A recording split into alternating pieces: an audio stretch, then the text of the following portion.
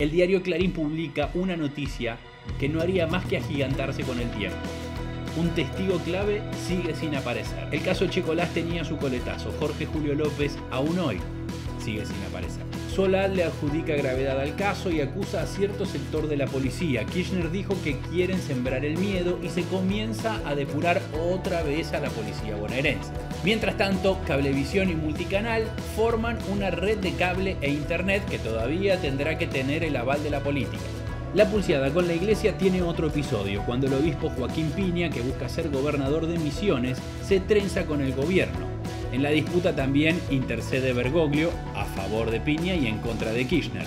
Otro hecho conmueve al país, la tragedia del colegio Ecos a la ruta 11 con 12 chicos fallecidos.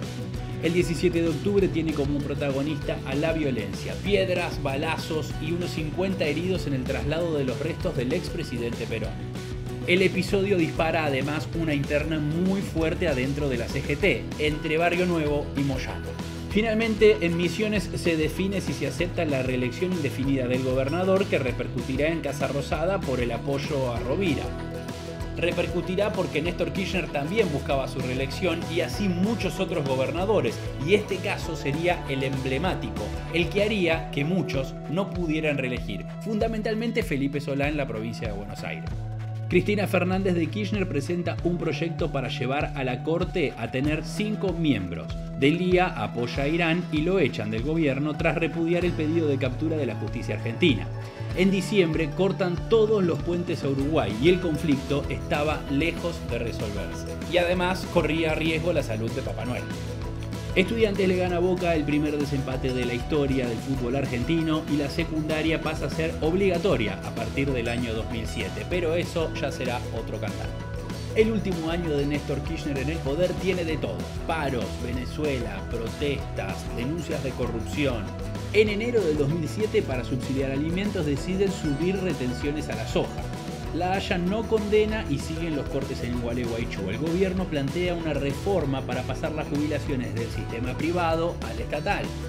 Adelantan las elecciones de la ciudad de Buenos Aires para junio. Después de una disputa interna, Felisa Micheli dice que hay errores en la forma en la que el INDEC mide y termina renunciando a su titular.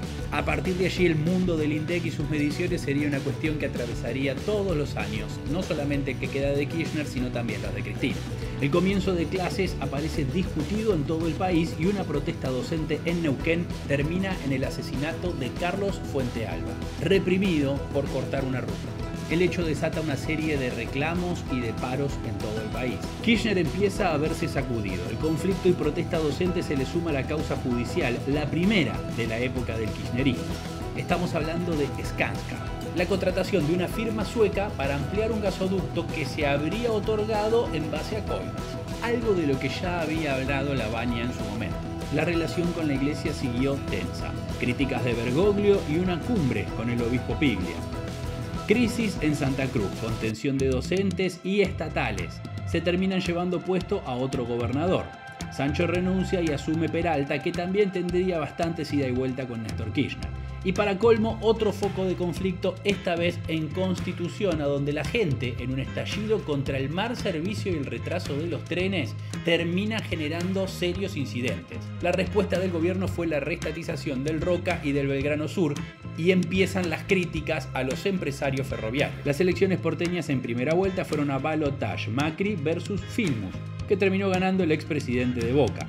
Bloomberg tiene que salir a reconocer que no tiene título de ingeniero y una faltante de GNC y gas afecta la ola de frío que por esos días se vivía en Argentina.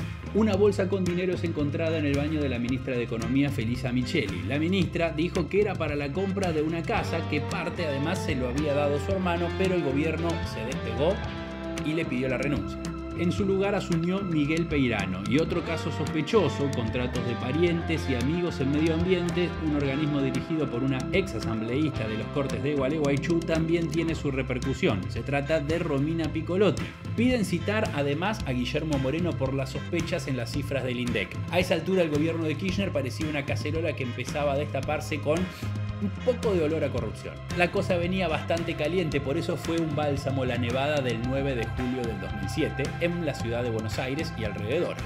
Finalmente la corte anula el indulto de Menem a los militares. Cristina lanza su candidatura destacando el papel de la mujer y empiezan algunos temblores económicos, inflación, dólar. Pero a esa altura el presidente tenía sus energías puestas en la región en el Mercosur, fundamentalmente en un acercamiento con Chávez y de paso un avión privado aterriza en Argentina con 800 mil dólares en el maletín de un empresario venezolano, un tal Antonini Wilson. En Tucumán gana Alperovich, en Santa Fe gana Wiener con un histórico triunfo del socialismo. En Córdoba, una apretada victoria para Schiaretti. Reinaldo y Adelfa se casan en Santa Fe. Vuelve el conflicto con las papeleras porque Kirchner reconoce que no se van a ir, entonces vuelven los cortes. El 28 de octubre, por primera vez, una mujer es electa presidenta. Cristina saca el 43% de los votos y en provincia, Scioli también arrasa, pero con la designación de Balestrini como su vicegobernador, como para controlarlo un poco. A partir de la victoria de Cristina se abre la última etapa del gobierno de Kirchner, prepararle el terreno a la sucesora. El intento de recomponer con la iglesia, ajustes en la luz y en el gas para los hogares de mayores recursos, una suba de retenciones al trigo, al maíz, a la soja que pasan de los 5 a los 8 puntos, una suba del 60% en las exportaciones de petróleo para frenar la suba de la nafta y la modificación en las mediciones del INDEC, también del acuerdo de la fusión cablevisión con multicanal. El 10 de diciembre Néstor Kirchner le entrega el bastón de mando a su esposa.